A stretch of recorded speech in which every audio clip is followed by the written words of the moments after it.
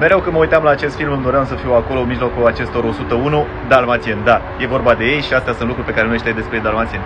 Câini foarte inteligenți și independenți, dar atenție, sunt și încăpățânați, deci aveți neapărat nevoie de dresaj. Petele le apar de-abia la 4 săptămâni și nu se nasc cu ele așa cum ne-a arătat în film. Filmul 101 Dalmațien n-a făcut bine rasei pentru că foarte mulți după ce au văzut filmul au vrut această rasă fără să o cunoască, iar mulți au fost ulterior abandonați în adăposturi. Este mascota Maxipet, iar în magazine puteți intra cu câinii voștri indiferent de rasă. Follow pentru a afla totul despre câini.